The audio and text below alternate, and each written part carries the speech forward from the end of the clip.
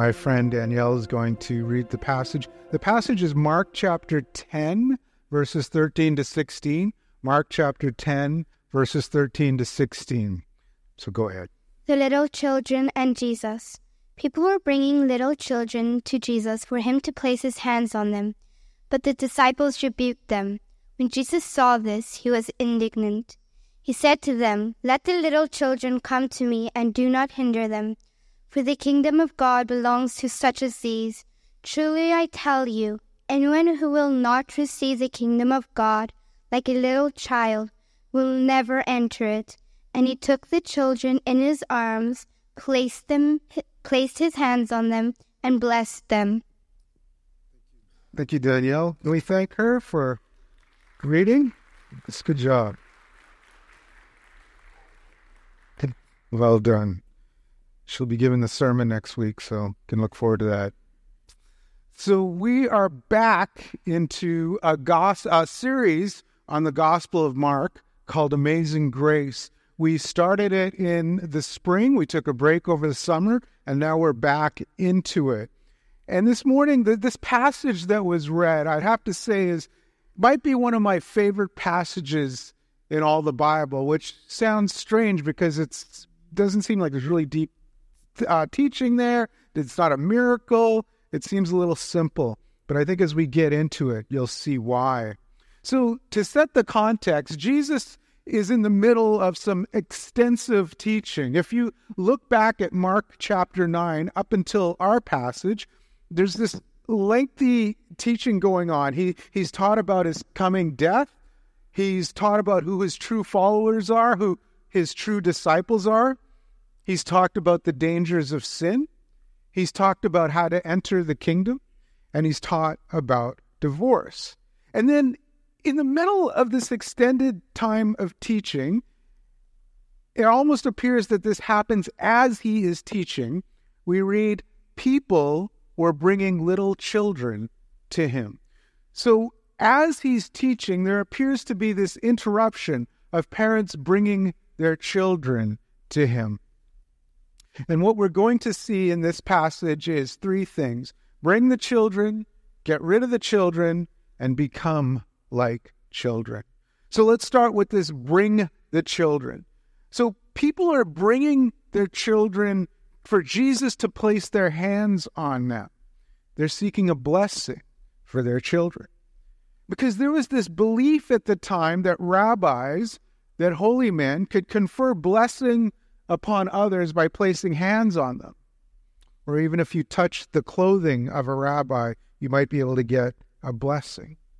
So these parents, they want Jesus to bless their children, which is a good thing. And it's something we want to do, those of us who are parents. In order for our children to be blessed, we do different kinds of things. We care for their physical needs. We provide food and clothing and shelter. We provide for their education. We pro- provide for their emotional care. We provide for their spiritual care. We bring them to church. So we have this desire that our children be blessed by God. So the parents sense that for the well being of their children, despite all the physical needs they can provide, there's this deeper need of a blessing from Jesus. And it's a great example for all of us parents to take a hold of that we can do what these parents did. We can bring our children to Jesus and ask Jesus to bless them. So I want to challenge all the parents in this room, even if you have adult children, make a commitment to bring your children to Jesus every day. And what I mean by that is to pray for your children. Pray that God will bless your children, that God will protect your children, that God will provide for your children. Lamentations 2:19 says, "Arise, cry out in the night as the watches of the night begin. Pour out your heart like water in the presence of the Lord. Lift up your hands to him for the lives of your children. Lift up your hands to him for the lives of your children. God loves your children. God desires for them to fulfill his calling on their lives. And just as these parents did, we need to humble ourselves and say, God, I need help. I need divine strength and protection. I can't do this on my own. I love the fact that as a church we celebrate. We just we just showed three beautiful pictures of of three beautiful newborns. And then we also have this practice of child dedication where where parents come on this stage holding their uh, their newborn or their children in a very important and public confession saying we choose to raise our children in the fear of the Lord. And and as I thought about that, I thought that is a great model just to continue. That can be the start of a perpetual dedicating of your children to God. To use that initial action of child dedication as a model for how you will pray for your child for the rest of their life. As I was thinking about how to pray for children, I think one of the most important ways we can pray for our children is that they would be grounded in the love of God. Because children and teenagers are forming their identity. And as they form their identity, there can be times of insecurity and times of anxiety and times of fear. But if they are rooted deeply in God's love for them, and if they can see themselves as God sees them, they're better able to handle some of those challenges. Because we have an enemy. The Bible calls him the accuser of the brethren. And one of the tools of the enemy is to speak lies to us, to tell us that we are not worthy enough, that we are not good enough, that we are not smart enough, that we are not pretty enough. And we need to pray against those lies that can infect the minds of young people and cause great damage. Pray that your children abide in the love of God. Help them to hear your love for them to feel your love for them, to believe in your love for them. Pray that your home would be a home filled with the love of God, that your children are secure, that your love for them and your acceptance of them is not based on their performance, is not based on anything they need to earn. You just love them because you love them. Another way you can bring your children to Jesus is to create structures in your home where there are no barriers between Jesus and your family. Things like managing screen time, things like managing even good things like athletics or the arts in such a way that you don't schedule out the priority of church and of church attendance. You can bring your children to Jesus by reading scripture with them and over them because every child needs to feel loved, secure, and safe. And parents need to call on God's resources to be able to provide for their children. So the first point is, is simply that bring the children to Jesus. But this action of bringing the children to Jesus leads to an interesting reaction from the disciples. And this is the second point get rid of the children. Because in verse 13, we read, the disciples rebuked them.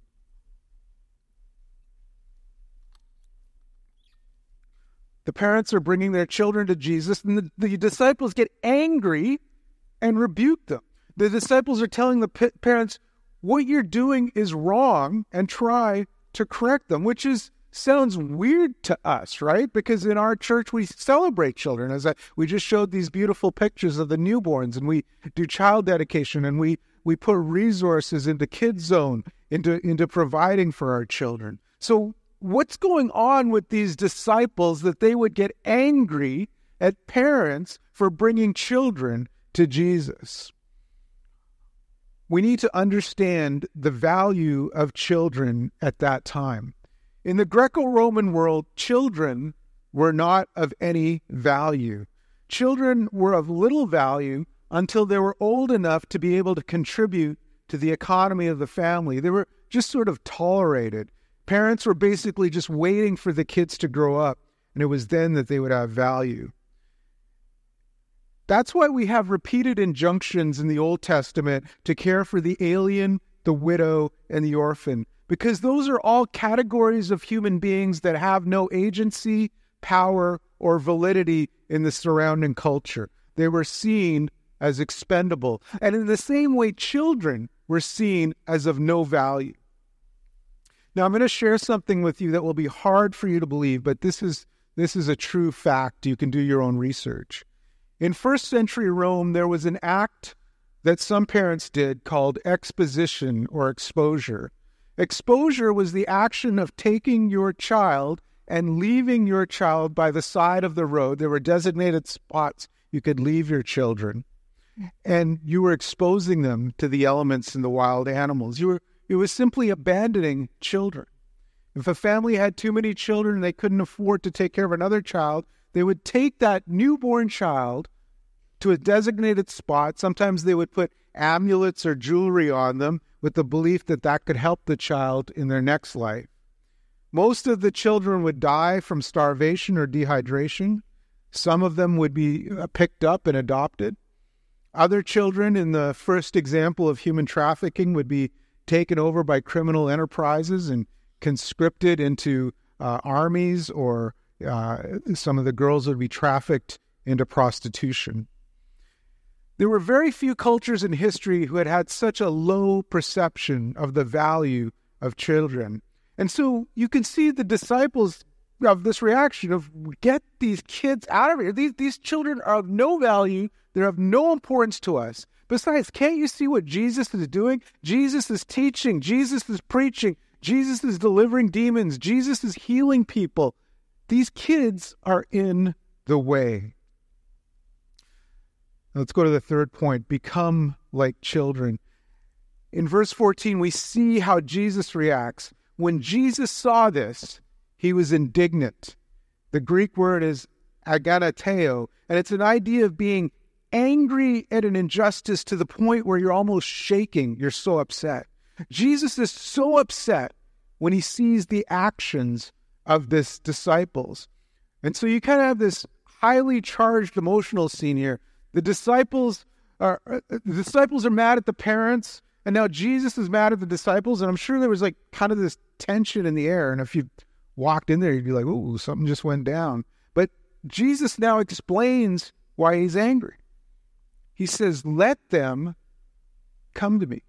Let the little children come to me. Don't hinder them." And why do I want chil- these children? Why do I want these children that are not valued to others? It's because the kingdom belongs to them. Because to enter my kingdom, you have to come in as a child. Jesus wants the children. Don't hinder them. Don't put any barrier between me and children. And Jesus wants the children because the kingdom of God belongs to them. And I can almost guarantee that the disciples' heads blew up when he said that because the disciples knew what kingdom was. Kingdom was not these children, kingdom was Rome, kingdom was power, kingdom was the military. In the minds of the disciples, there was still this belief that Jesus was this emerging military political leader who was going to overthrow Rome and usher in a Jewish renaissance. And there was no way that these children were going to fit into that plan. The disciples had an image of an earthly kingdom, not uh, uh, not a godly kingdom. They had a kingdom whose metrics are measured by power and strength. But Jesus, the revolutionary, describes a whole different kind of kingdom. In fact, he says, My kingdom is not of this world. And Jesus will flesh this out in the rest of our passage. And this is actually the second reason they didn't want the kids around because they were in the way of building Jesus' kingdom. And then Jesus drops another truth, truth bomb. He says, Truly I tell you, anyone who will not receive the kingdom of God like a little child will never enter it. Anyone who will not receive the kingdom of God like a little child will never enter it.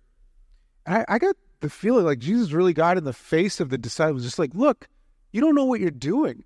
You guys are not helping by keeping the children away. We need the children. And I would have loved to hear how the disciples responded. I'm sure they were like, look at what we've done. We've given up everything to follow you. We're with you, Jesus, and we're like big, strong men. It should be the opposite. Opposite. You should be telling the kids that no one enters the kingdom unless you're like us, unless you're like the disciples. And yet you're putting us down and lifting these kids up. This makes no sense. And here we enter the ter- topsy turvy, upside down ethics and metrics of Jesus. And in the end, the ethics of Jesus wins over the ethics of this world and the ethics of the disciples. The disciples wanted to build a kingdom of political power and military might, and Jesus wanted to build a kingdom out of children and out of infants and out of those who the world rejects. You see, the ethic of love for children came through for Jesus. As we look back on history, we see that starting in the first century, it was the Christians who came to the aid of the abandoned children. Remember what I said about the exposure of infants that took place? It was actually Christianity that reversed that horrible practice. Tom Holland, in his book Dominion, writes this Lepers and slaves were not the most defenseless of God's children across the Roman world, wailing at the sides of roads or on rubbish tips. Babies abandoned by their parents were a common sight. Others might be dropped down drains there to perish in the hundreds.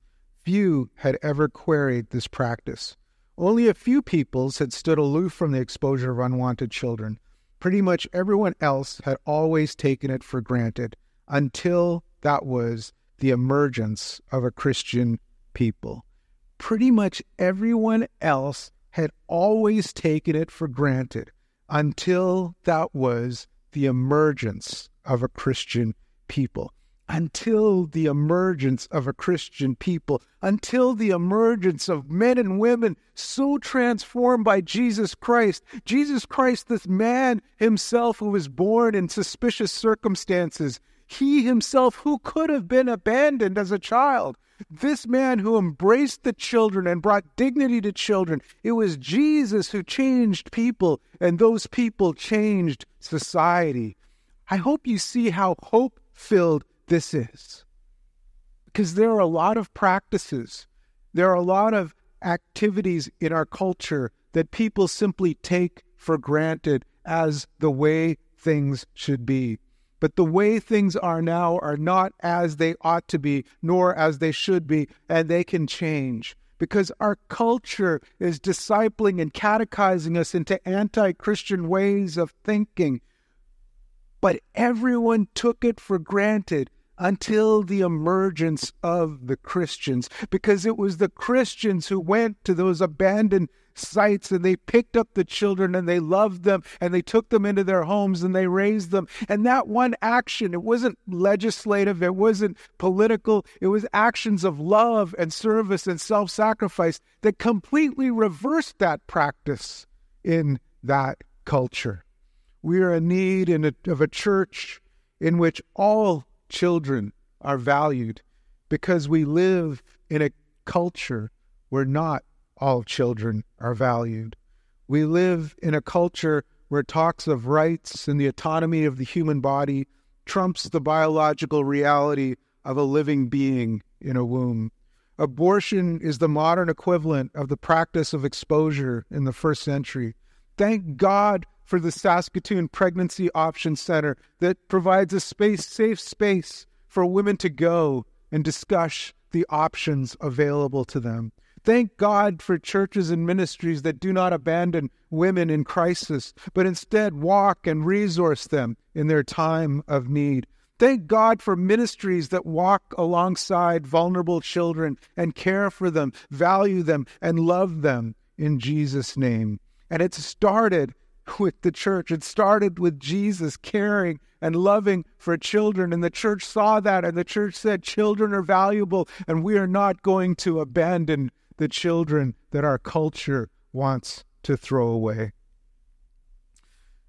It's so amazing. I hope you're starting to see why I love this story so much. It's just so amazing because you have the disciples pushing the kids and the parents away, and Jesus saying, Bring those kids here, bring them here.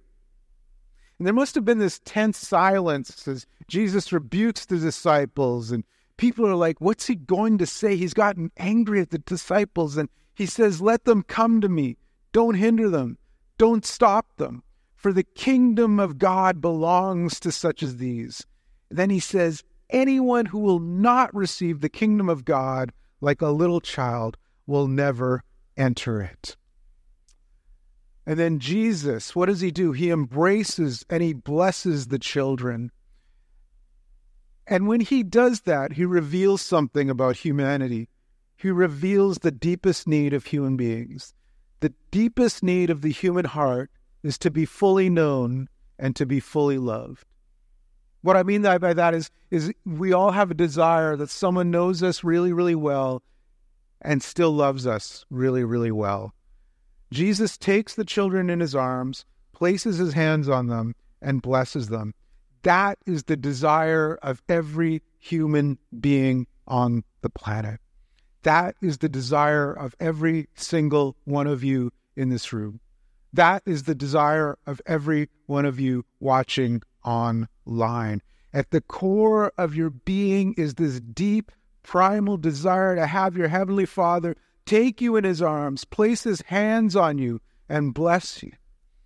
And then the question is how do we get that? How do we get what we really need that we need so much? Well, how do we get that? You have to become like a little child. Remember what Jesus said You'll never, you'll never enter my kingdom unless you enter it as a child. How do we enter the kingdom as children? Children are dependent. Newborn babies are completely dependent for everything food, changing, sleeping. They're at the complete and total mercy of the caregivers around them. To enter the kingdom as a child is to enter in dependency on Christ. It is to enter with a feeling of helplessness. To enter the kingdom as a child is to realize that Jesus paid it all. To enter the kingdom as a child is to rely completely on what he has done and not on your own merit. Complete and total reliance. In the hymn Rock of Ages, there's these lines Nothing in my hands I bring, simply to thy cross I cling. Naked come to thee for dress, helpless look to thee for grace. Foul I to the fountain fly, wash me, Savior, or I die. Nothing in my hands I bring, simply to thy cross I cling. Another reason why this is such a powerful reality of Jesus embracing children is because some of us may never have felt embraced as children. Some of us may never have had homes where we were loved. Um, I'm reading a book on ethics right now, and and in the middle of the book, the, the author, who's a pastor, shares this touching story about how when he was growing up, he never heard his father say, I love you. If he got a 95 on a test, his father would say, Why didn't you get a 98? His father's desire was that, was, was that he would go into the academics and become a chemistry professor because he had been studying chemistry in university. But instead, he became a pastor. And he has always had this nagging sense of inferiority. And he struggled with depression and this deep desire to sense his father's love and approval of him. Then he describes an incident where God's love broke through on him. He writes One incident serves to illustrate one of the mysterious and undeserved experiences of the love of God. My wife was ill and bedridden. We had two young children. All day I'd battled the Monday blues that often assail preachers, on top of my more generalized depression. I didn't read the Bible with the kids that morning. I didn't pray with them. I was too busy getting them off to school. I did all the housework. I made dinner. I got the washing on. I put the kids to bed. And then I had to go out and get some groceries. And I was really angry. Every traffic light was red. The line for the grocery clerk was long, the people were dumb, and she was really slow. Swear words filled my consciousness. Can you believe this? Like, this is a pastor. Swear words filled my consciousness. I've never, well, if I did, I wouldn't admit it that swear words filled my consciousness. He gets in his car and some worship music comes on. And he's like, You gotta be kidding me. At the end of my day, are you kidding? Are you joking with me, God? But he keeps the music on and he hears these lines Loved with everlasting love, led by grace that love to know, Spirit breathing from above, you have taught me it is so. Oh, this full and perfect peace, oh, this transport all divine, in a love which cannot cease. I am His and He is mine, His forever, only His, loved with everlasting love. And a powerful, overwhelming sense of the love of God came over him, and he cried for the first time as an adult. In his words, I was overwhelmed by a gracious outpouring of the Father's love, and I had a profound sense of his voice saying, and I want you to hear this through all you went through as a child, I was always there with you. Through all you went through as a child, I was always there with you. And that's a beautiful thing, but the the the crowning moment of this is that was on a day when he least deserved to hear those words because he was angry, he was bitter, he was resentful, and yet God in his gracious mercy overwhelmed that man and gave him a taste of his love. I'll invite Ruben up for our closing song. So the summary of this is this Parents, bring your children for Jesus to bless them because Jesus is building his kingdom through them. And finally, enter his kingdom like a child. Allow Jesus to touch those broken parts in you that you carry from childhood. And then when we do bring those things to Jesus, Jesus puts his arms around us.